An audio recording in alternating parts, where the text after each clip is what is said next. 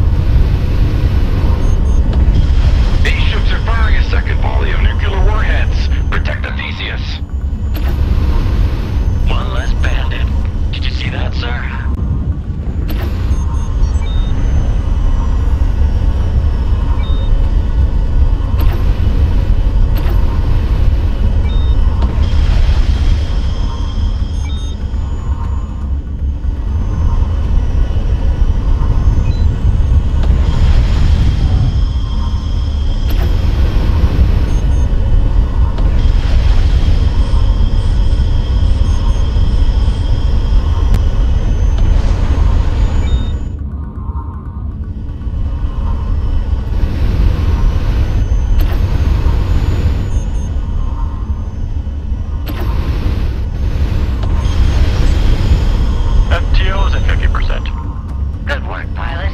Now don't let that go to your head. We're halfway there, people. Keep it up. Green and orange squadron will relieve you from cap after our next jump.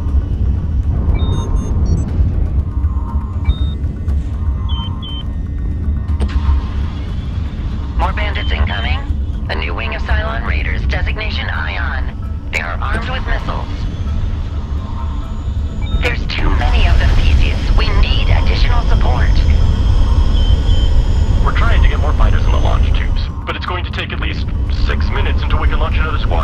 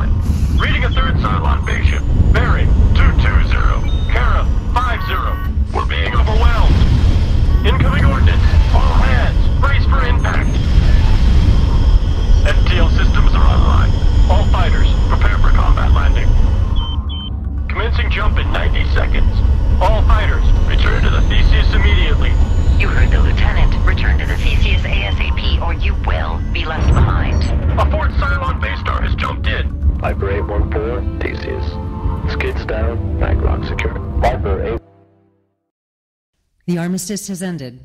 We are now once again at a state of war with the Cylons.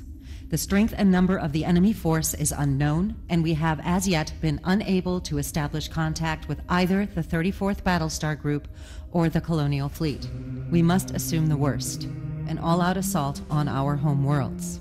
The Cylons have been able to track our jump destinations. How this is possible is unknown. The intensity of the attacks has decreased.